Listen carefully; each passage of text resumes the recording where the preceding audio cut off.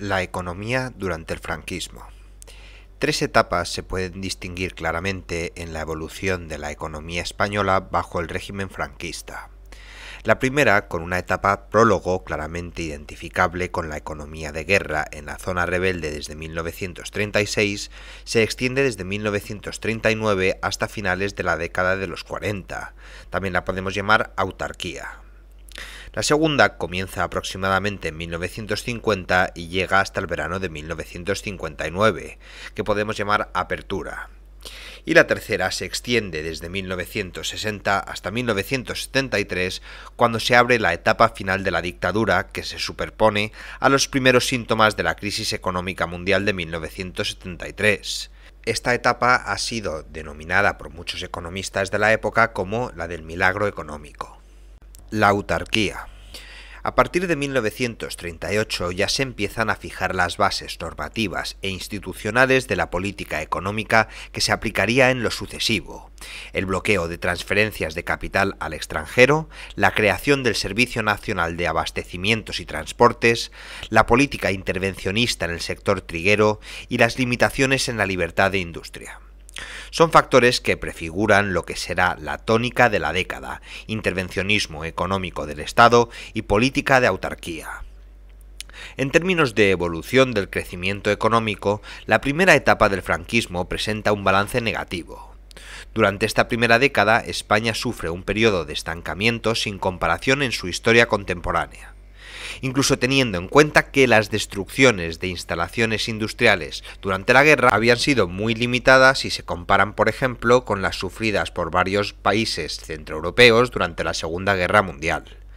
Entre 1941 y 1945 el crecimiento de la producción industrial fue negativo. Entre 1946 y 1950 presentó tasas positivas, pero claramente inferiores a las del resto de países europeos, que solo recibieron las ayudas norteamericanas a través del Plan Marshall desde finales de 1948. El significado último de todo esto es que la posición económica del primer franquismo supone el fin del proceso de crecimiento económico moderado pero mantenido que había comenzado en España en el último tercio del siglo XIX y asimismo supone un ensanchamiento de la distancia que separaba a España de otros países de Europa Occidental lo que se combinó con la represión de los sindicatos y de las organizaciones de clase, una rígida disciplina laboral y la fijación de salarios en la industria en una situación caracterizada además por una coyuntura inflacionista en los precios, el consumo privado retrocedió a niveles inferiores a los de 1928, al igual que también retrocedió hasta 1945 el índice de inversión de capital. Todo lo antedicho ha de ponerse en relación con los efectos de la política económica del primer franquismo, caracterizado por un intervencionismo extremo al servicio de la opción aislacionista del régimen. Ese modelo de organización económica se define en principio por la autarquía económica y la intervención del Estado en la planificación de la actividad económica. La planificación económica del primer franquismo consiste en una suerte de intervencionismo tradicionalizante, también llamado por algunos autores como patriarcalismo económico, que en parte reproducía y continuaba las líneas de la política económica anterior a 1936 y que en parte era también una adaptación del modelo intervencionista que ofrecía la Italia fascista, especialmente en lo referente a creaciones institucionales, por ejemplo, la fundación del Instituto Nacional de Industria en 1941 o la promulgación del Fuero del Trabajo.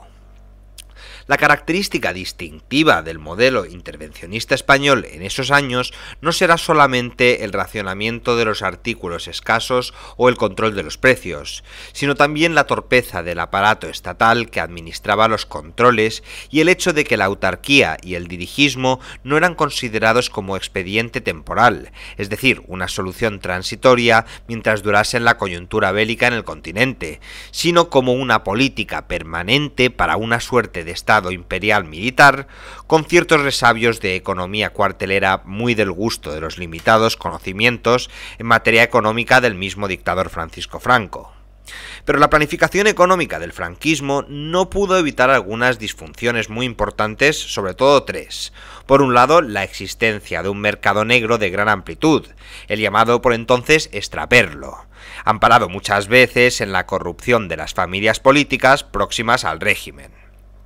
Por otro lado, el auge de prácticas monopolistas y la generación de rentas a favor de las empresas y grupos de presión que ocupaban posiciones ventajosas cerca del poder político y que son las que acceden al tráfico de licencias de importación, cupos de racionamiento, divisas y un largo etcétera. Y en tercer lugar, el régimen dejará muy escaso margen de libertad a los empresarios que quisiesen invertir con criterio de lucro productivo. Tampoco podrá evitar la corrupción administrativa y lo más doloroso, la miseria y las estrecheces de la gran mayoría de la población. La apertura. Este segundo periodo se va a caracterizar básicamente por el apreciable ritmo de crecimiento de la economía española entre 1951 y 1958 y el cambio de orientación fundamental de la política económica, cambio que será lento pero progresivo.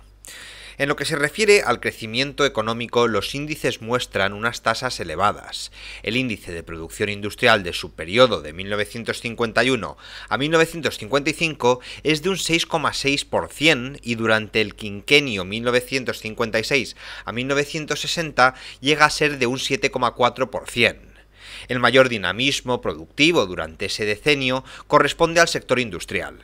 y la renta real por habitante aumenta de 694 dólares por habitante en 1950 a 1042 en 1960. España, y eso es significativo, seguirá en lo sucesivo de modo uniforme la pauta de otros estados europeos y muy particularmente de los países de Europa meridional. En concreto, países como Grecia, Italia o Yugoslavia pesan en el desarrollo español lo que podríamos denominar como relaciones exteriores, transacciones comerciales, remesas de migrantes que retornan al país y alimentan fundamentalmente a la banca privada y por último flujos de capital y divisas gracias por la aparición del turismo de masas procedente de los países de centro y norte de Europa. Sin embargo, los pasos aperturistas de la política económica española cara a abandonar la autarquía anterior fueron durante los años 50 cortos y plenos de cautelas. Solamente se vencerán esas resistencias internas con la puesta en práctica del llamado Plan de Estabilización del 1959. Con todo, este denominado decenio bisagra de la economía española presentó un claro carácter de atenuación de la rigidez autárquica de la política económica del franquismo que había caracterizado la etapa anterior.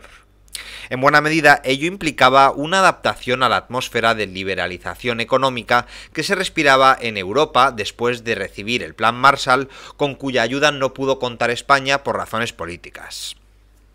La política liberalizadora de los gobiernos franquistas fue gradual, y hubo de vencer a las resistencias de los sectores del régimen que seguían pronunciando a favor del mantenimiento de la política económica del periodo anterior.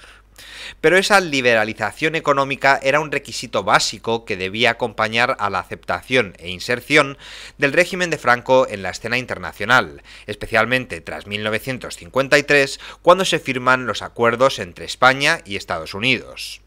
El nuevo gobierno formado en 1951, en el que ya figuran algunos de los aperturistas destacados, como Gómez de Llano o Castebani, impulsará la introducción de nuevos criterios de gestión económica en el ámbito del sector público y la empresa privada, así como medidas destinadas a eliminar los obstáculos que entorpecían la actividad económica en nombre de la protección y del intervencionismo.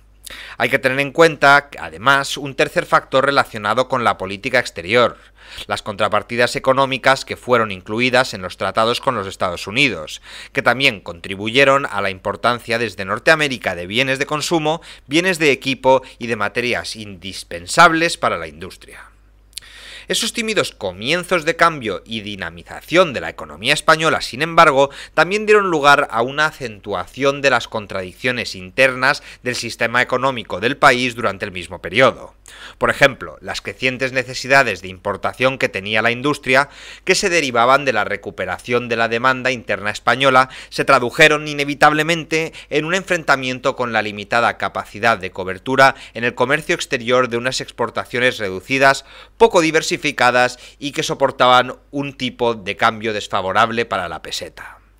De esta manera, las posibilidades de continuidad del proceso de expansión amenazaban con coagularse, en cuanto no cabían dentro del corsé impuesto por el conjunto de normativas estatales de dirección de la economía surgidas en los años anteriores. Las huelgas obreras de 1956 y los conflictos estudiantiles también ponían de manifiesto estas contradicciones agudas del modelo de desarrollo económico interno. Hacia mediados de la década se hacía evidente la necesidad de acabar con la estabilidad ficticia consagrada en el conjunto de reglamentaciones y controles directos sobre la producción que eran herencia de la década anterior, mientras las tensiones de la economía española real se disparaban. El nuevo gobierno de 1957 casi coincidía en el tiempo con la firma en Roma del Tratado Fundacional en la CEE e en marzo de ese año y llevaría a cabo un conjunto de medidas orientadas a conseguir la estabilidad económica interna y la inserción global de la economía española en el mercado exterior, así como una flexibilización de las regulaciones del mercado interno. Ese conjunto de medidas será conocida como la prestabilización y antecede al tercer y definitivo paso hacia la liberalización de la economía española el plan de estabilización del verano de 1959, que proponía, según el memorándum dirigido por el gobierno español, al Fondo Monetario Internacional dar una nueva dirección a la política económica con el fin de alinear la economía española con los países del mundo occidental y liberarla de intervenciones heredadas del pasado que no se corresponden con las necesidades de la situación actual. La economía española en 1959 se hallaba de hecho al borde del caos, por lo que el plan de estabilización no fue sino una suerte de cura de caballo para sortear el callejón sin salida al que llevaba el mantenimiento de la política económica del periodo anterior, la autarquía. El plan de estabilización supuso una reestructuración dolorosa de la economía española. Eliminó la mayor parte de las barreras impuestas a la libre circulación de capitales por la política autárquica y normalizó las relaciones internas de costes y precios al acabar con el control de precios que había sido normativo hasta entonces. En definitiva, marcó un rumbo diferente para la economía y fue el resultado necesario de toda una década caracterizada por el inicio de un crecimiento económico que no podía seguir en, los marcos legales de la política económica que hicieron durante la posguerra, que era pura autarquía, el país sobrevivía solamente de los recursos que producía, y esto no permitía avanzar a la industria, por ejemplo, que adquiriría una gran importancia a partir de ahora. Los años del boom.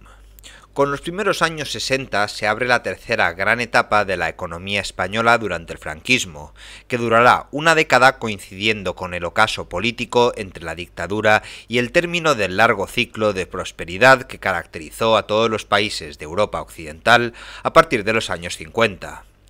En lo que se refiere a los factores determinantes del crecimiento económico de este periodo, hay que señalar que la economía española, después del plan de estabilización, muestra una gran capacidad para aprovechar las condiciones favorables que se le presentan en el mercado internacional. Esa capacidad se traduce en una ganancia de amplios márgenes de productividad que antes eran desaprovechados por las limitaciones de la autarquía. Las ventajas comparativas de la economía española consistían en concreto en energía barata, obtenida sobre todo mediante el aprovechamiento de la rica red fluvial, no en vano, el régimen se caracterizó por la política de construcción de embalses hidroeléctricos, precios favorables relativos de las materias primas y de los alimentos, lo que se traducía en menores costos de producción, financiación exterior que se nutría de transferencias de capital por parte de los emigrantes que en los años 60 se dirigían a los países industrializados de Europa Occidental, divisas del turismo y entradas de capital al extranjero también la fácil adquisición en el mercado internacional de la tecnología y los productos necesarios para secundar los cambios en la demanda. Había abundantes disponibilidades de mano de obra gracias al proceso de éxodo masivo de la población rural hacia las ciudades y asimismo por la incorporación en proporción apreciable, aunque muy inferior a otros países de Europa Occidental, de la mujer al mercado laboral. La posibilidad de emigración hacia el exterior ofrecía además la válvula de seguridad adicional que garantizaba que en España no se iba a producir una situación de conflictividad social por la desproporción existente entre mano de obra excedente y oferta de trabajo. Los efectos combinados de la situación descrita hicieron posibles un intenso desarrollo económico que modificaba la función de producción de la economía española, por el cambio de intensidad en el uso de los factores de producción y también transformó de modo radical los hábitos de consumo y comportamiento de los españoles. A lo largo de esta etapa surgió una auténtica clase media. Sin embargo, hay que aclarar que el ritmo de liberalización de la economía española fue disminuyendo lentamente a lo largo de la década en vez de acelerarse progresivamente, con lo que sobre todo tras 1963 y 1964, el camino de la política económica era más bien una irregular trayectoria en zigzag incapaz de superar ciertos límites. Así subsistieron algunas presiones involucionistas, tanto en el sector exterior como en la ordenación de los mercados internos. Se mantuvieron dificultades para la creación de nuevas industrias, y asimismo la rigidez del mercado de trabajo y la intervención estatal en el sistema financiero marcaron, a partir de 1964, una subetapa durante la que se volvió de modo tendencial hacia una economía más corporativa, por la que el gobierno concedía continuidad y estabilidad al empleo, a los sindicatos verticales del franquismo y a la financiación privilegiada de ciertos sectores empresariales políticamente afines. Como siempre, las dictaduras pues tienen a todos sus colegas al lado siempre. En parte, la relativa desaceleración del ritmo de esta liberalización económica de la que estamos hablando tenía también que ver con el temor a que un proceso de desarrollo económico libre llevase tarde o temprano, como después se vio, a una difícil coexistencia con las fronteras de un régimen político autoritario.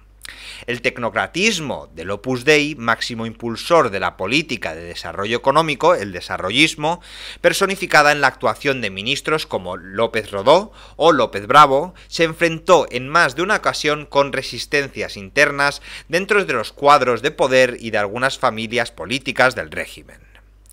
En lo que se refiere al alcance y entidad de la expansión económica del franquismo durante estos años, es de destacar el inusitado ritmo de crecimiento económico que tiene lugar en términos generales entre 1961 y 1974. Entre esos años, la tasa media de crecimiento del PIB fue de un 7%, solo superada en aquel periodo por Japón, imaginaros, y que tuvo como resultado colocar a España como séptima potencia industrial del mundo. Desde 1967, sin embargo, el ritmo de crecimiento anual del PIB descendió a un 4 o 5% con años de cierta recesión relativa, como en el resto de Europa Occidental, en 1967 y 1970, y después de la crisis del petróleo de 1973 y el 74. De todos modos, conviene clarificar una cosa, que cuando tengáis una discusión con una persona que defienda el régimen de Franco, diciendo que se vivió un periodo de crecimiento económico, hay que subrayar, le podríais decir, que el crecimiento económico español de estos años no es tan excepcional si se sitúa en el contexto de los demás países de la Europa del Sur. El ritmo de crecimiento de España era solo ligeramente superior al de Italia, Yugoslavia o Grecia por la misma época. La verdadera trascendencia de esta etapa de la economía española ha de valorarse por la amplitud y sentido irreversible de las transformaciones estructurales que empiezan o se consuman entre 1959 y 1975. Esos cambios estructurales son sinónimo de reequipamiento y modernización de un amplio abanico de actividades productivas en todos los ámbitos sectoriales. Así, en el sector industrial, auténtico motor de la expansión económica, se produjo un intenso crecimiento que se acompañó de profundas variaciones en su estructura interna. La industria española de 1970 tiene un rostro bien diferente y más competitivo en relación con la de 1950, como se podía apreciar en el mayor peso de las industrias químicas, metalúrgicas y de fabricación de bienes de equipo, en el fuerte aumento de la productividad del trabajo y en la mayor especialización productiva. En el sector agrario, la transformación estructural fue radical, si bien su alcance fue muy desigual según las zonas y regiones. Durante esta etapa tuvo lugar una descarga de mano de obra rural en forma de éxodo masivo hacia las ciudades y emigración al extranjero. También cambiaron las exigencias básicas de la demanda de productos alimenticios y en consecuencia afectó también profundamente a la actividad agraria se producirá una remoción extraordinaria de estructuras en los referentes al tamaño de las explotaciones, los niveles de mecanización de la agricultura, la selección y mejora de cultivos y razas ganaderas. Por otro lado, las redes de distribución y la misma configuración mercantil de las empresas agrarias es cuando penetran verdaderamente las sociedades anónimas en el campo. Igualmente tendrá lugar un importante avance del sector terciario, que es inseparable del proceso de urbanización de la sociedad española, llegando a situarse a la cabeza de la distribución por sectores de la población activa. A esta terciarización contribuyeron especialmente la expansión de los medios de transporte y comunicación, así como el turismo de masas que dio lugar a un desarrollo vertiginoso de ramos como el de la hostelería y finalmente y de forma muy señalada se produjo también un crecimiento y modificación importantes de la composición de las exportaciones españolas. El porcentaje de las exportaciones pasó de constituir de un 4,7 a un 8% del PIB, en composición disminuyó la proporción de productos agrícolas dentro del comercio de exportación y entre 1967 y 1974 aumentaron las exportaciones de bienes de equipo y manufacturas del 13 al 22% y del 25 al 36% respectivamente. Así que, en consecuencia de tener una industria tan fuerte, las exportaciones en España en ese momento pues estuvieron muy pero que muy bien. Ahora bien, la economía española fue acumulando también una serie de debilidades y fragilidades que la crisis económica de 1973 y 1974 se encargaría después de poner dramáticamente al descubierto. Entre ellas destacaban las siguientes, sin olvidar el hecho de que al coincidir el final del franquismo con los primeros efectos de esta crisis económica internacional, se agravaron los propios problemas derivados de la coyuntura económica. En fin, que las razones fueron las siguientes. En primer lugar, la excesiva dependencia energética española respecto al exterior, en concreto la dependencia del petróleo y gas natural importados. La segunda razón era la vulnerabilidad de las industrias españolas ante la agresividad competitiva de los nuevos países industriales de la periferia, como podían ser Taiwán, Corea del Sur o Hong Kong, capaces de producir artículos de calidad a precio muy inferior gracias al mínimo coste de la mano de obra empleada. Ejemplo claro de ello ha sido la crisis de la construcción naval en España por mor de la competencia coreana. Otros problemas que se plantearon fueron, en tercer lugar, un elevado endeudamiento de las empresas españolas, tanto del exterior como del interior. Y en cuarto lugar, la existencia de un sector público mal formado, poco racionalizado e ineficiente, junto con un grado aún muy elevado comparativamente, en el contexto europeo occidental, siempre estamos hablando de esto, de intervencionismo económico herencia del primer franquismo, hasta prácticamente nuestros días siguió siendo el excesivo peso de empresas públicas fuertemente deficitarias como UNOSA o Ensidesa. Y, por último, la última razón de esta crisis eran las rigideces institucionales e injerencias administrativas en diversos mercados de productos y servicios, lo que no se veía acompañado de un sistema fiscal equilibrador y corrector de desigualdades.